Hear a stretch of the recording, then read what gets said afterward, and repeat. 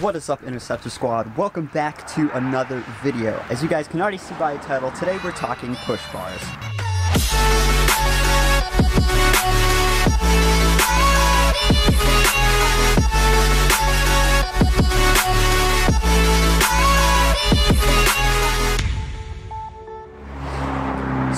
Quite early and chilly this morning, filming this extra early today because as you guys can see they're doing some major work on my house. So before they start tearing this apart and I can't really talk, I'm going to do this early today. So um, as you guys can see, today's video we're going to be talking about push bars, push bumpers, bull bars, uh, brush guard, whatever the heck you want to call it. You guys may or may not know, but there's actually quite a few different push bars out there. At the end of the day, their main function is all the same. Their main function is to push vehicles, disabled vehicles out of the way, uh, perform pit maneuvers, stuff like that. So basically, I'm going to be talking about what the best push bar is for your Interceptor. Um, and just to throw this out there as well, no matter if you have the police version or the civilian versions, they basically make push bars to fit your car. So you can't just go and, you know, buy a push bar and have it here in a week. They have to make it from scratch. I ordered my push bar a couple weeks ago and it's still not going to be here for a couple more weeks, if not maybe even more than that, because like I said again, they make it from scratch. Okay, so first off, we're going to start off with Go Rhino. Go Rhino is probably one of the cheapest push bars I've seen, and they're very, very easy to locate, meaning you can find these things brand new online um, or used on eBay. More so for the Crown Vics. If you have a newer Interceptor, they're definitely going to be harder to find used. So I would definitely say you're probably going to have to end up getting it brand new. But a used Go Rhino push bar you guys can find easily on eBay for $100. You, you throw some fresh paint on there and the thing will look brand spanking new. Now, Go, uh, Go Rhino push bars are fairly small. Um, so if you guys have a Crown Vic just for reference, which I know most of you guys do, uh, Go Rhino push bar will pretty much go from like here to about here on the grill of the Crown Vic. So it doesn't take up the whole space of the Crown Vic's grill, if you know what I mean. Now, if you guys have been subscribers since the beginning, you guys know that my Crown Vic had a Go Rhino with fake Setina stickers on it.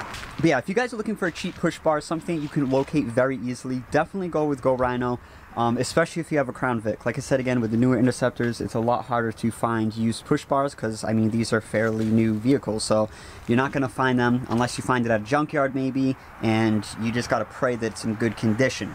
So, this is more for, you know, the Crown Vic. If you guys are looking for something a little bit better, a little bit bigger, a little bit beefier, definitely go with Setina. That is what I got for my Taurus. Uh, now, Setinas, if you guys have a Crown Vic, again, for reference, a Setina push bar will pretty much go from the edge of the grill to the edge of the grill. So Setina push bars are definitely a lot wider. Um, definitely a lot wider than the Go Rhinos. For the Taurus, it's actually a little bit different. The, this, the length is the same, the Go Rhino and the Setina push bars, the length is the same, but the Go Rhino push bar comes to about here. It levels out to about there, maybe the edge of the, the, the top of the grill. Uh, and the Setina, the one that I ordered, actually comes up a little bit more. It sits up about this high. Uh, don't mind my hand either. Uh, I actually injured myself again. But anyway. Are you serious? Um, yeah, so um, Setina sits up a little bit higher. Um, so if you guys are looking for a more beefier, a little bit bigger push bar, definitely go with Setina.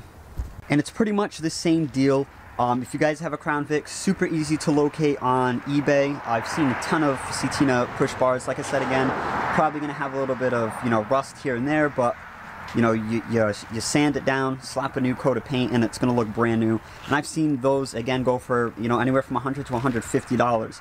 Brand new, they're a little bit more expensive. Mine for my 2014 Ford Police Interceptor sedan for a brand new Setina push bar, PB400 by the way, that is the model number. Um, uh, it's the same model number for the Crown Vic as well, like I said again. And then you put your vehicle details in if you're buying it brand new, and they make it to fit your vehicle. If you're looking to buy it brand new, it's going to cost you around $350 after tax, shipping, and all that good stuff. That's how much I paid for mine. So Go Rhino and Setina are probably the two that I would highly recommend. Um, they're the most known, they're the most common, I'd say.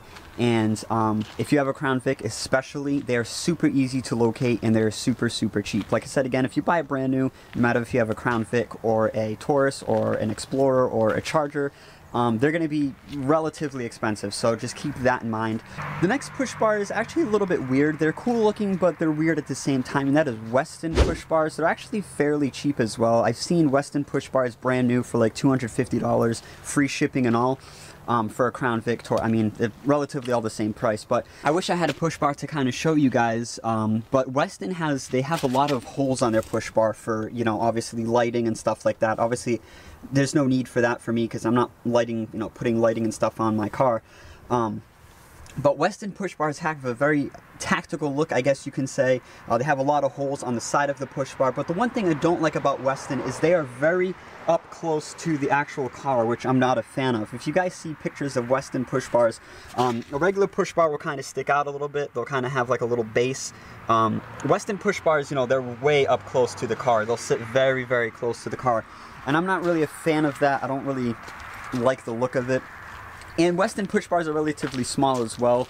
Um, I think they're actually the smallest lengthwise. I believe they, you know, for uh, reference, they'll probably be from like where the cutouts for my um, mounts are to about there. So like this point right here my finger is to about this point. So they're very small, they're very narrow. Um, which I'm also not a fan. The bigger the push bar, the better for me. I, it just looks a lot more beefier and a lot, a lot meaner. And there's also Pro-Gard push bars. I've honestly never looked into these because they are always, for some reason, they always look crooked in pictures. They're very basic. They're very um, just ugly, to be honest with you. Um, every picture I've seen of Pro-Gard push bars, they're just very skinny push bars. Uh, I don't think they have like any, you know, stickers that say um, Pro-Gard on it or anything. It's just like a black push bar pretty much. So I wouldn't really recommend that. I haven't really looked into it that much. So so the one that I personally recommend uh, through the four I mentioned is Setina. And keep in mind, if you guys want a Setina push bar, they come in two different types of material, steel and aluminum. Go with the aluminum one. Um, it's recommended when you do order, it says it's recommended, and I believe aluminum is a lot lighter. Yeah, if you guys want the Setina, it's called the Setina PB400. That is their basic push bar. Um, the PB400L, I believe, is the one that has lights built into it. It's also a lot more expensive, but like I said again, I don't need that, so but yeah, that's pretty much going to wrap it up for this video, guys. If you guys want to find websites, all you really got to do is go into Google and type in push bar for a, you know, whatever, um, Crown Vic, Ford uh, Police Interceptor sedan, this and that, and usually uh, fleet safety websites will pop up, uh, I believe. Um, or you guys can go check it out on eBay if you guys want to find a used one, more for the Crown Vic owners. And I'm going to end the video off here. If you guys have any questions, let me know down below in the comments and I'll try to answer them. Uh, if you guys still have a hard time finding it, I'll provide you guys with a link.